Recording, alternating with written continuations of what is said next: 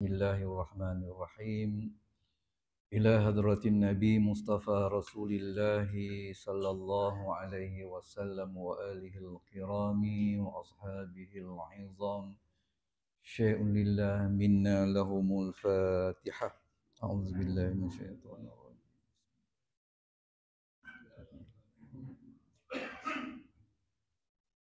إياك نعبد وإياك نستعين صراط الذين أنعمت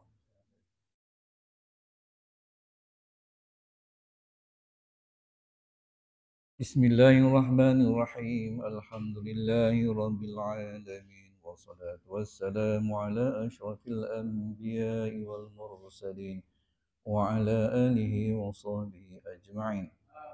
اللهم افتح علينا حكمتك وانشر علينا من خزائن رحمتك يا أرحم الراحمين والحمد لله رب العالمين Assalamualaikum warahmatullahi wabarakatuh. Innal hamdalillah asyhadu an la ilaha illallah wa asyhadu anna Muhammadan abduhu wa rasuluh. Allahumma salli اللهم صل على سيدنا محمد وعلى آله وأصحابه ومن دعا بدعوته إلى يوم القيامة لا ريب فيه. سبحانك لا علم لنا إلا ما علمتنا إنك أنت العليم الحكيم. ولا حول ولا قوة إلا بالله العلي العظيم.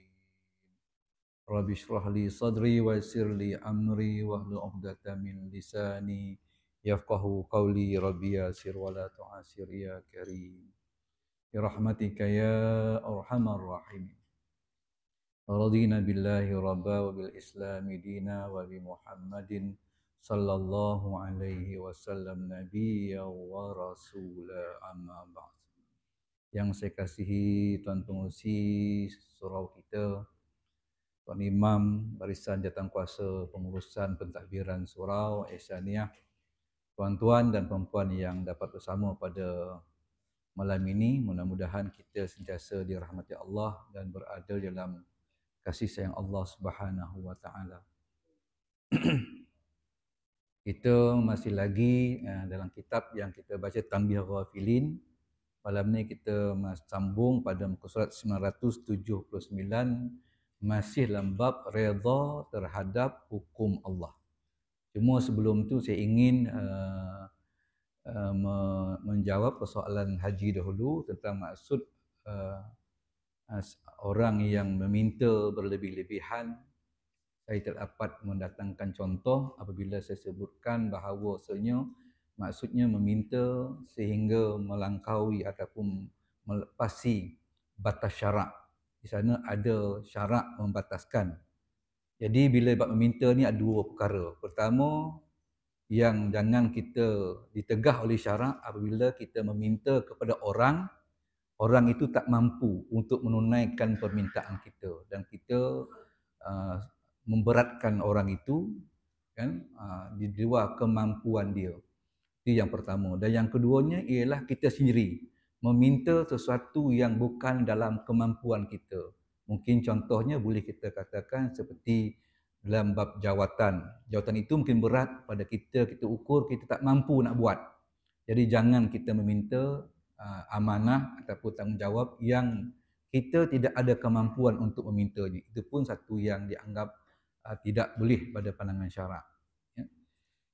Dan kita masuk kepada yang seterusnya, muka surat 979, iaitu tersambung pada Abu Darda radhiyallahu anhu. Bismillahirrahmanirrahim. Abu Darda. Abu Darda ini seorang sahabat yang dipanggil Ansari. Dia ni adalah orang orang Madinah.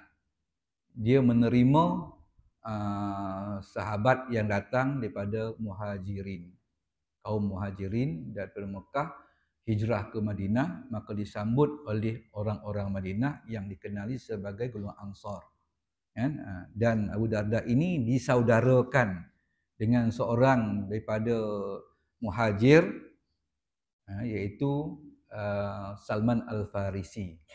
Salman Al-Farisi adalah orang bukan Arab Mekah tapi dia datang lebih awal lagi mencari Nabi sallallahu alaihi wasallam dan akhirnya dia bertemu dan dia memeluk Islam di tangan Nabi sallallahu alaihi wasallam. Dia bukan orang Mekah.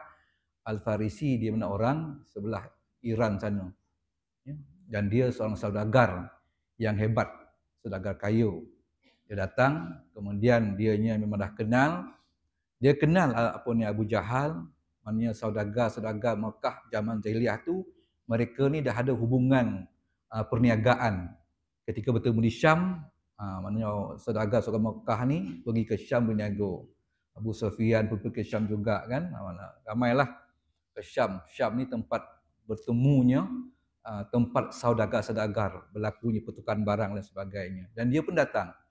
Jadi pertemuan dia tu datang ke Mekah tu dia dah dikenali. Maka dianya mendapat bantuan modal berniaga yang diberikan oleh Abu Jahal sendiri. Jahal bagi dia bisnes lah. Kau datang, okey aku bagi bisnes. Ha, bagi modal. Ha, sebab uh, ini rakan bisnes dari Abu Darda ini. Eh, apa apa ni uh, apa yang datang daripada muhajir itu Uh, Salman Al-Farisi. Al-Farisi adalah Parsi, bangsa Parsi. Bangsa Parsi ini sebelah-sebelah daripada Iran lah. Iran tu Parsi lah tu. Baik, Abu Darda.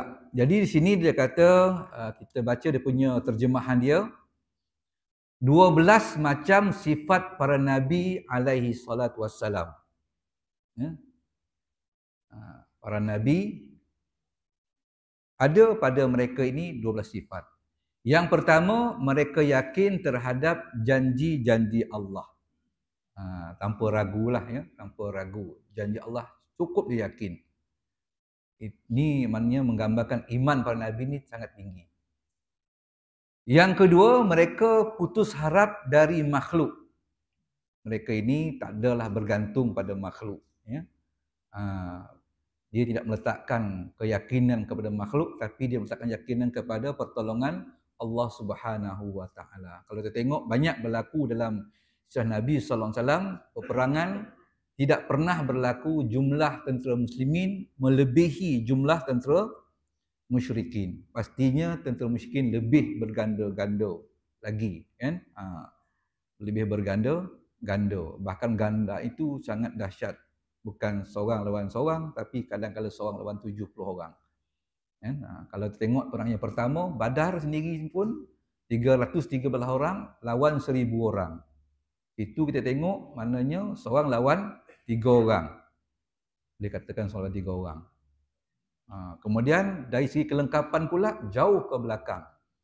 Para sahabat hanya ada 17 orang sahaja. Mengikut pendapat yang saya baca, pendapat yang kuat, Tujuh belah orang saja yang memang pakai pedang.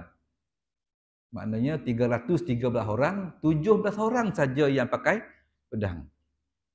Ha. Dua ratus sembilan puluh enam orang hanya pakai pelepah tamar basah. Sahabat yang ada pedang tadi, pergilah ambil tam, pokok tamar tu. Nah, tempat pemegang itu, dibuang duri dia. Ha, seorang maknanya pegang kiri kanan. Itulah yang dibelasah Ah, kepada tentera musyrikin pada perang Badar. Itu kan adalah jumlah sedikit tetapi yang nak lawan ni bukannya tombak kan apa. Tapi kalau kita tengok kepada kekuatan musuh, mereka angka saja seribu orang. Tentera berkuda, tentera berkuda ni mah tentera yang lengkap. Kuda dia pun disalut dengan baju besi, dia pun pakai baju besi, mata pun nampak dengan topi besi sungkup muka dia, badan dia baju rantai besi, dan tombak dia lebih panjang daripada ha, maknanya kalau berlari kuda tu tombak di depan muncung tombak tu. Jadi maknanya uh, agak mencabar. Di samping yang lain-lain lengkap dengan pedang masing-masing dan juga baju besi dia. Mereka datang tu bersedia untuk berperang. Tapi sahabat Nabi bersama Nabi ke Badar bukan untuk berperang. Uh, jadi itulah dia keyakinan dia ya. Keyakinan sehingga Nabi berdoa ya Allah kau berikanlah pertolonganmu. Jika sekiranya engkau tidak turunkan pertolongan maka Islam tidak akan lagi ada di atas muka bumi ini. Ha, itulah keyakinan Nabi. Tak undur ke belakang dia yakin Islam tetap akan menang. Berlakulah pertempuran perang sehinggalah Allah memberikan kemenangan. Jadi maknanya walaupun jumlah tu sedikit tapi dia mereka putus harapan tak ada bergantung kepada makhluk. Yang ketiga permusuhan mereka hanya kepada syaitan. Kan? Musuh ini syaitan. Sebab syaitan ini musuh yang nyata. Ha. Yang keempat mereka rajin memperbaiki urusan mereka.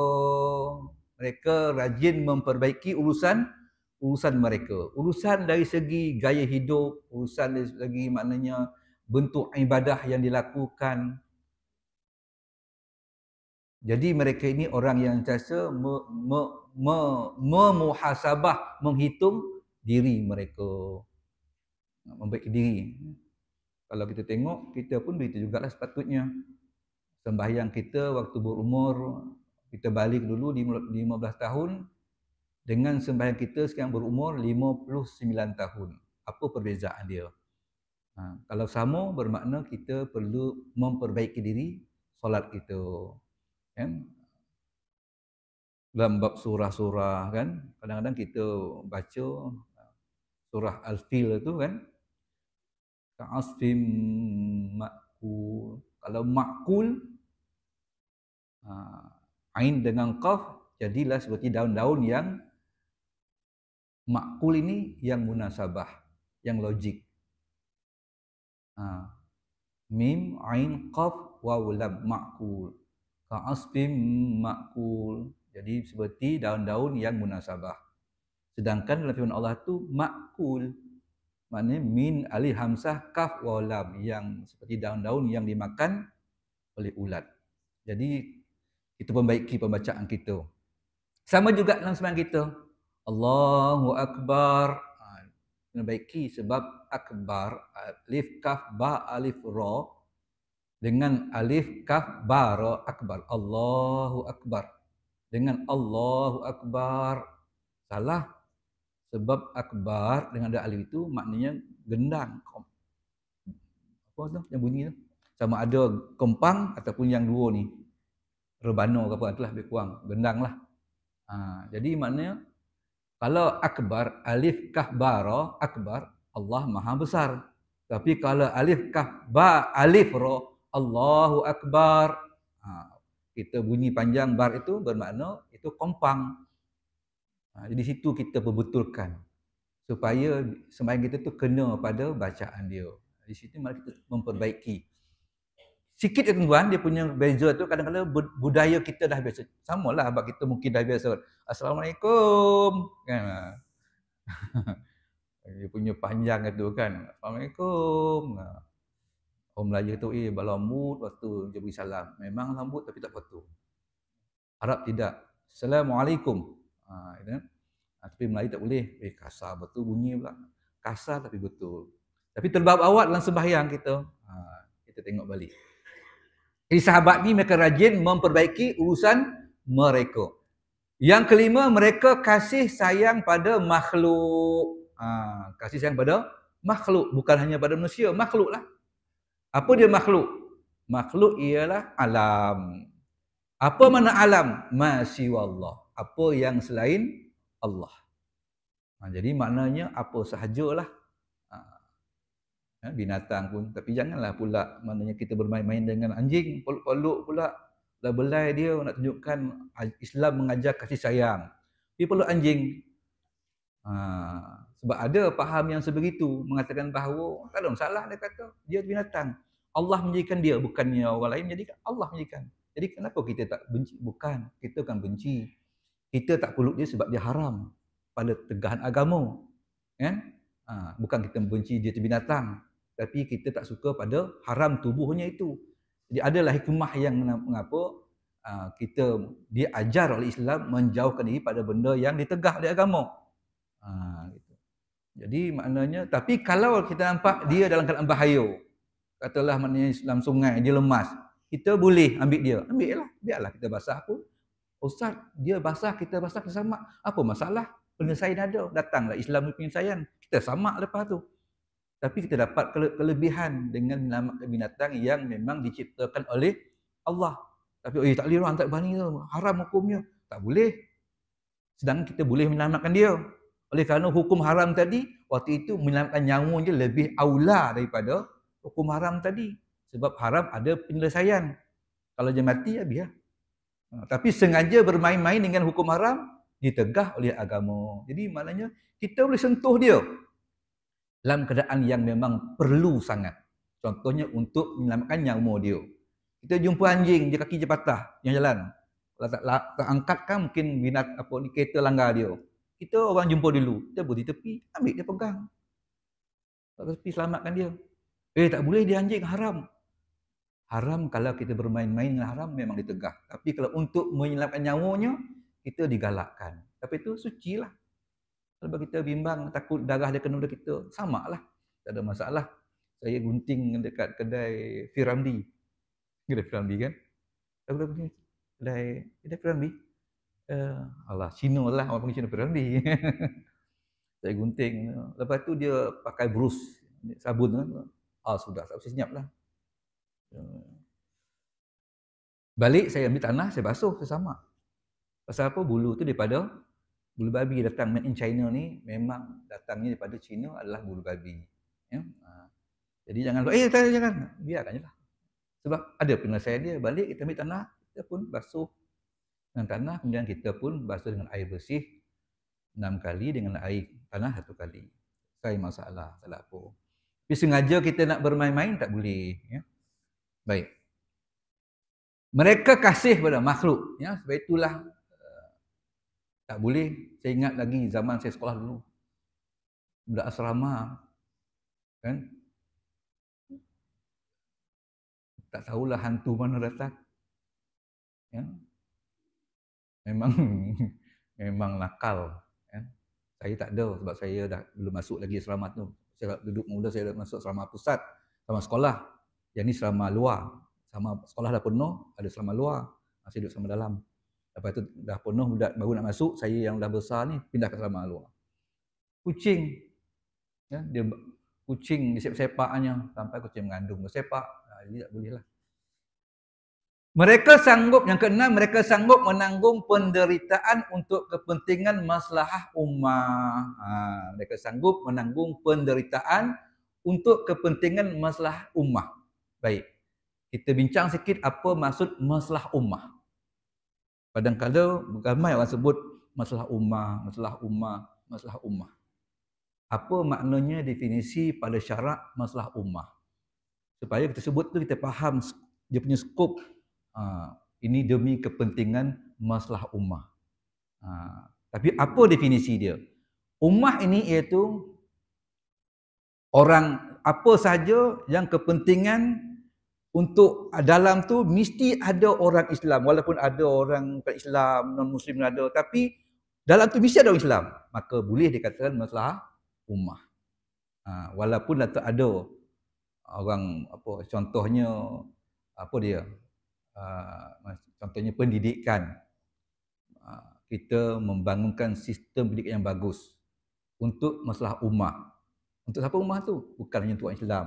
Untuk juga orang bukan Islam. Tetapi dalamnya tetap ada orang Islam. Tapi kalau semua Islam lagilah. Lagilah. Maknanya kalau bercampur pun tetap juga dipanggil masalah ummah. Tapi kalau mana dalam tu memang Islam lah kau. Lebih dipanggil bab min babil aula lebih utama. Tapi kalau semua tu orang kafir berlaku, tak ada orang Islam. Dia tak boleh dipanggil masalah ummah. Tidak boleh dipanggil masalah ummah. Kalau maknanya semua ada satu juta tu untuk kepentingan satu juta. Tapi satu juta tu tidak ada langsung orang Islam. Orang kafir berlaku. Tidak boleh dipanggil ummah. Ummah itu mesti ada orang Islam. Dan kalau orang Islam berlaku, tak ada orang kafir, lagilah kepentingan itu perlu di jaga. Jadi contohnya sebut yang kelima Allah. Apa kepentingan dia? Dia kepentingan telah umat. Sebab dia memang kepentingan untuk orang Islam. Tak boleh orang ambil menukar definisi uh, kalimah uh, Allah itu daripada diberikan oleh Allah sendiri kul huwallahu ahad eso lam yalid walam yulad itu sifat dia kan Allah tiba-tiba nak pergi diambil mana uh, kepentingan untuk dia yang menukar makna Trinity. Jadi Allah Trinity tidak ada kepentingan Islam dia tu. Tak ada. Itu hanya kepentingan khusus kepada orang Kristian. Sebab orang Islam kelima Allahnya tak pakai Trinity. Di kepentingan tu terkeluar. Bukan kepentingan ummah. Dia hanya kepentingan khusus 100% untuk orang Kristian. Tak kira lah dia bahasa Melayu ke, dia bahasa Inggeris ke, tak kisah. Tapi kepentingan tu tak ada langsung. Eh Allah takkan ada kepentingan? Ya, Allah yang ada kepentingan itu ya yang tadi. Kul huwallahu ahad, Allahu samad, lam yalid wa lam yulad, lam yakul lahu kufuwan ahad. Ha, itu yang kita punya. Kalau dia nak ambil yang itu, bermakna dia pengguna Allah yang sama, Allah yang esa, lam yalid wa lam yulad, wa lam yakul lahu kufuwan ahad. Dia pakai yang tu, kita pun pakai yang tu juga. Maka itu dipanggil kepentingan ummah. Sebab dia pun pakai yang tu, makna tak lagi, kita pun pakai yang tu juga. Adanya orang Kristian, ada Islam pakai kalimah Allah yang sama maknanya yang diberikan oleh Allah dalam kalimah surah itu. Maka itu dipanggil kepentingan ummah. Tapi mengambil kalimah Allah dalam Trinity tidak ada langsung kepentingan Islam di situ. Maka dia keluar daripada ummah. Jadi maknanya bila nak ambil itu tak boleh. Kita kena sama-sama mempertahankannya. Kenapa? Sebab itu masalah ummah. Tak kira lah dia parti apa pun, dia Islam tak kisah, sama-sama mempertahankannya. Itu titik kita yang paling besar kena faham. Kalau tidak nanti kita akan terpengaruh dengan kita punya uh, gambaran-gambaran warna. Oh, oleh kerana ni, oh, setuju. Kita boleh tafsiran tafsir, tak boleh. Ya, tidak ada. Kena faham maksud masalah umat. Baik. Yang ketujuh, mereka yakin pada syurga. Ha, kan? Yakin kepada syurga. Jika mereka berbuat, berbuat amal, iaitu benar bahawa Allah tidak mensia-siakan pahalanya. Yakin tentang syurga. Ha, yang kelapan, mereka tunduk pada hak. Bila berdapat dengan kebenaran, angkat tangan. Ha, kan tak adalah kita nak bertelagah. Ini uh, benar sebab disokong oleh hujah. Ha, Okey, betul ni benar. Kita pun setuju. Itu titik besar kebenaran ni perlu kita sama-sama mempertahankan. Sebab itu adalah sifat para nabi. Berdapat dengan kebenaran. Ha. Yang kesembilan, mereka tidak jemu memberi nasihat meskipun pada musuh. Memberi nasihat walaupun pada musuh. Ha. Memberi nasihat kan. Wala asli innal insana lafi khusrin illa allazina amanu wa amilus solihat wa tawasaw bil haqqi wa tawasaw bis sabri. Haqqi itu kebenaran. Pesan-pesan dengan kebenaran dan berpesan dengan kesabaran. Ha, baik itu macam mana pun dia akan berikan pandangan dia. Ini sifat para nabi. Yang ke-10 yang, yang ke-10 mereka tidak menyimpan kelebihan harta dan selalu memberikan kepada fakir miskin. Ha, ini sifat ialah. Baik itu maknanya kita tengok tidak ada nabi walaupun dia kaya pun tidak pernah meninggalkan harta yang yang diwarisi oleh zuriat dia. Ha, kan? Mereka ni sangat pemurah maknanya harta itu bukan pada tangan mereka bukan pada hati mereka. Harta harta itu bukan pada hati mereka. Harta itu hanya pada tangan mereka sahaja. Dapat dia bagi ya. yang sebelas yang ke sepuluh tadi mereka tidak menyimpan kelebihan harta dan selalu memberikan kepada fakir miskin ya. kita ni tengoklah ada yang wajib. Ada yang wajib maknanya zakat lah Ah, zakat dia tengok ya, kalau kita kena ambil perkembangan selalu terutama zakat yang dalam wang, wang simpanan kita ya, zakat dalam wang simpanan. Zakat fitrah ni dia soalan budaya. Semua orang ingat tapi kerana zakat kita kita lupa. Sebab kita yang tahu pertama sekali cukup perkiraan dia 14,700 saya sekian saya tak ingat lagi lah. Dulu saya ingat lagi. Tapi berubah-ubah tu. Dulu 14,700 uh, lebih. Sekarang ni tak tahulah ya berapa lah kena ambil maklum. Kemudian dari segi uh, masa dia kita yang tahu. Kalau kita keluarkan maknanya bulan Zul uh, 5 Zulhijjah uh, sehinggalah bertemu Zulkiflah uh, bertemu balik uh, kena kena keluarkan. Kalau cukup uh, kan? Kita yang tahu. Orang lain tak tahu kita yang tahu. Dalam bank kita tu uh, tapi kalau dalam tabung haji tak ada masalah. Ianya di, diuruskan.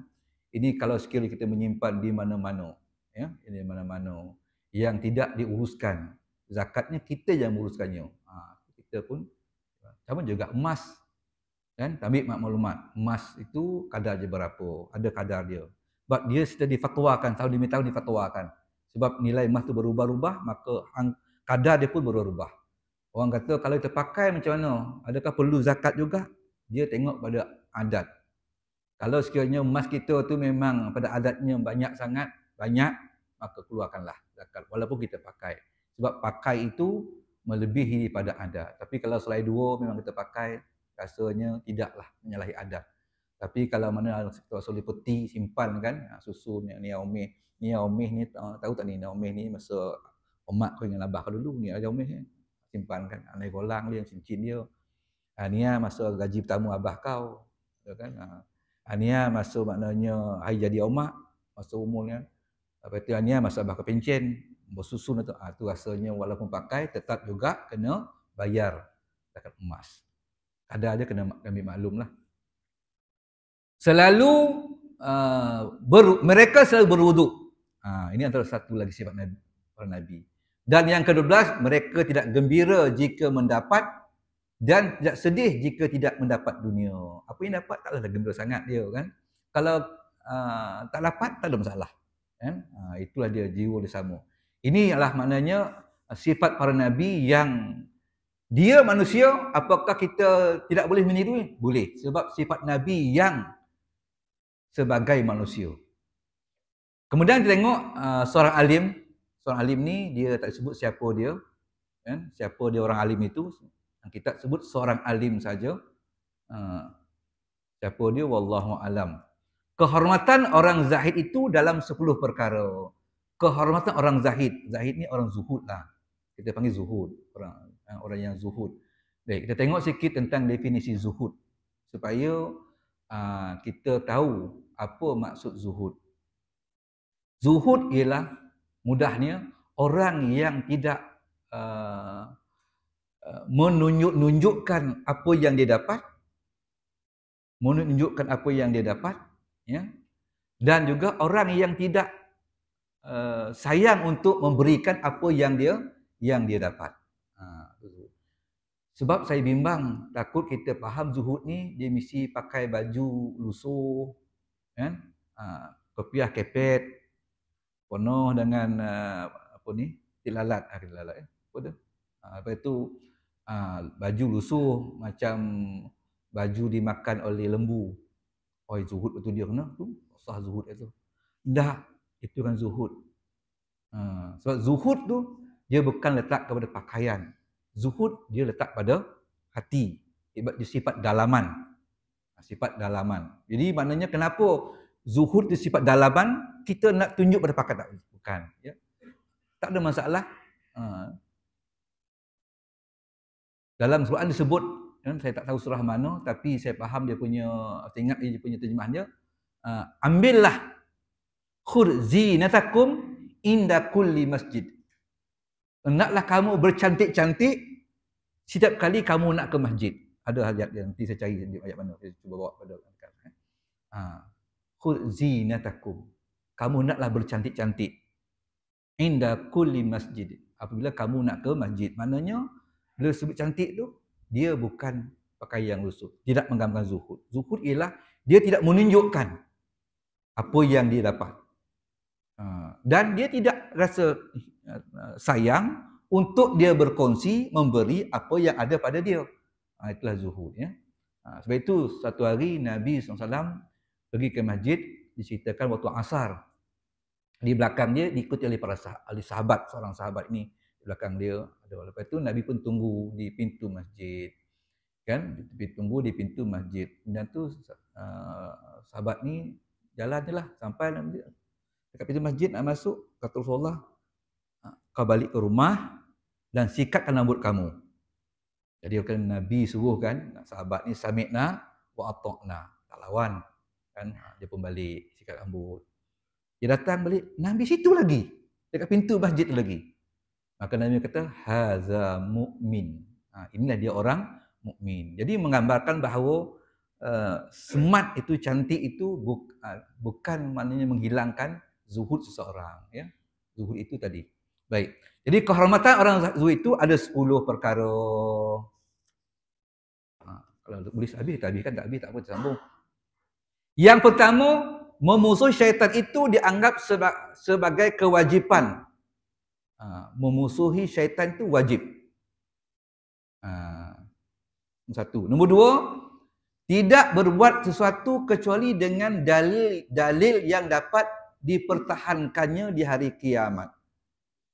Buat satu benda tu ada hujahnya. Bermakna apa tuan-tuan? Bermakna dia tak ikut orang. Ha. Cuma kita kadang-kadang suka ya, ha, kena buat macam ni. Ustaz tu buat, ha, mungkin boleh sikit lah kalau kita tahu ustaz tu betul ya. Tapi jangan amalkan. Kalau boleh kita bertanya. Dia bertanya kenapa dia buat macam tu.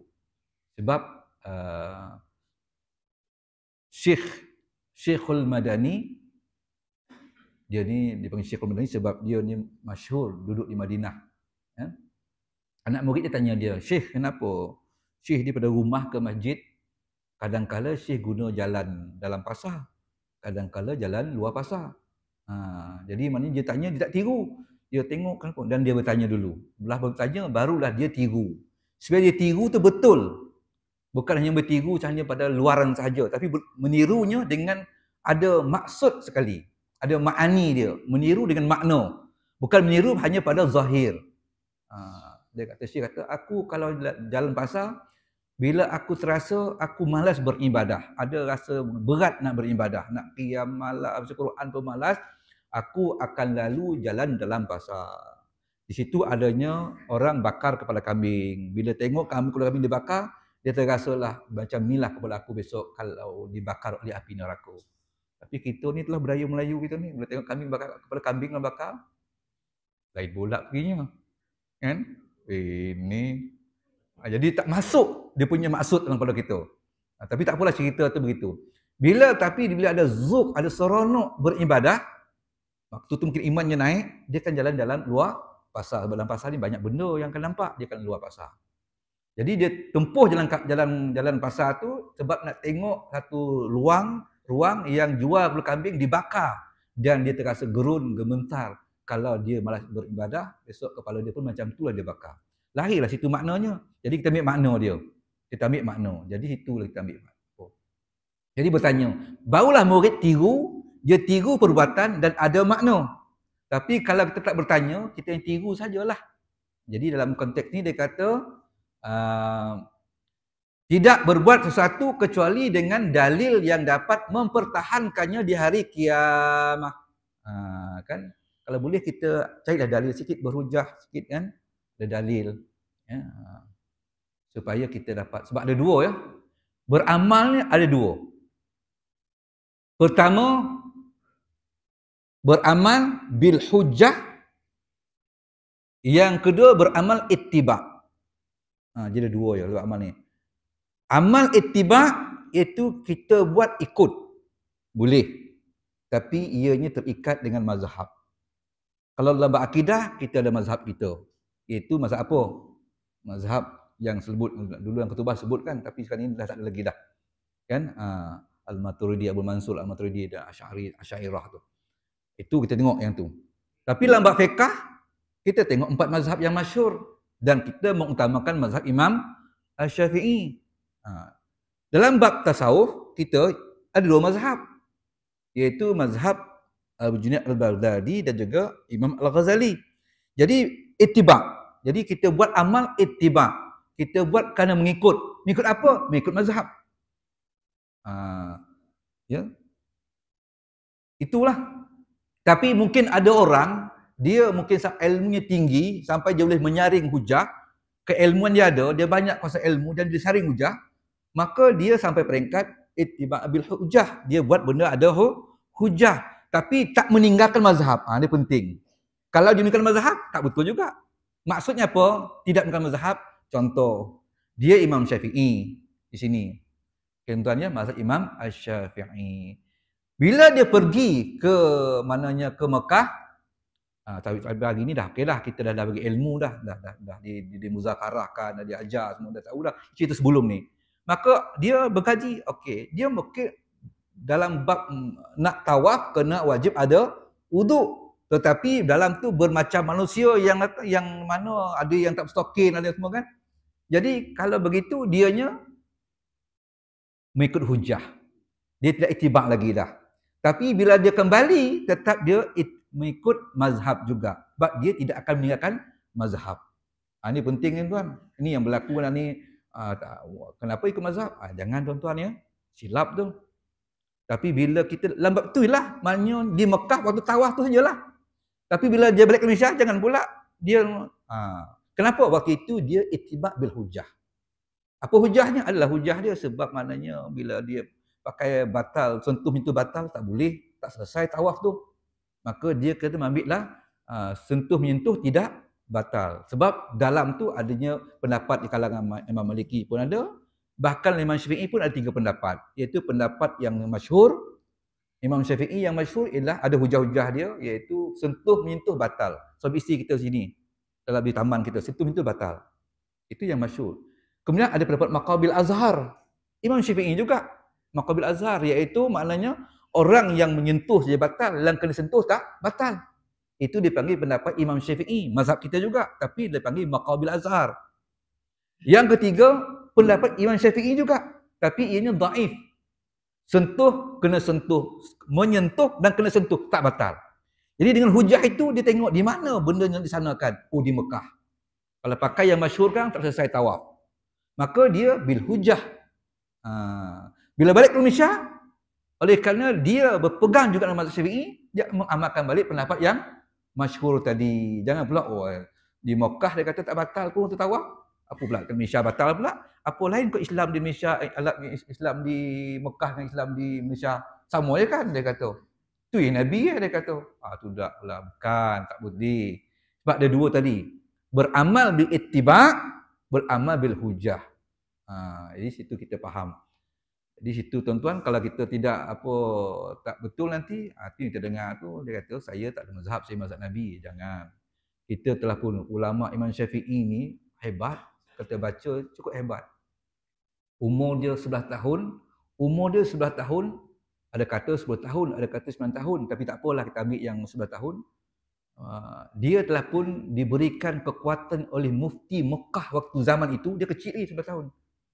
Mufti Mekah mengiktiraf, mengiklankan bahawa Imam Syafi'i boleh berfatwa dengan dirinya sendiri.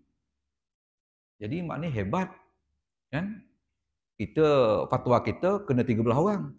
Di di di di, di sembilan ni dia panggil jawatan kuasa fatwa. Berapa ramai? tiga belah orang. Dengan orang ni pakai ilmu ni orang ni pakai ilmu ni orang ni pakai ilmu ni orang ni pakai ilmu ni.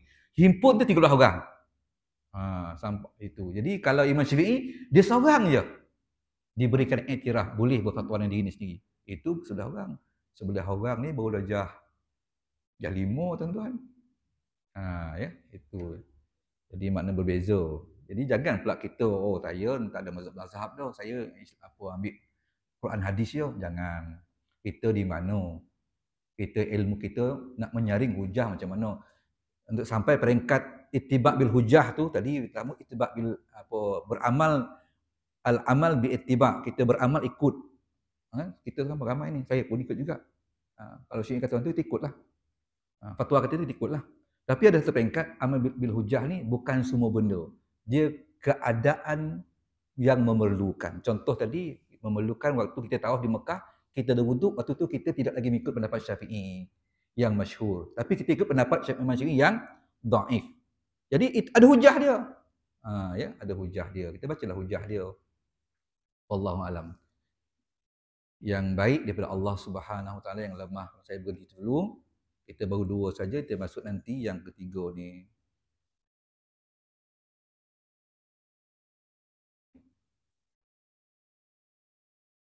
Bismillahirrahmanirrahim. Alhamdulillahirabbil alamin wassalatu wassalamu ala asyrafil anbiya'i wal mursalin وعلى آله وصحبه أجمعين. اللهم زدنا علما نافعا وقلبا خاشيا وعبادة متقبلا برحمتك يا أرحم الراحمين. والحمد لله.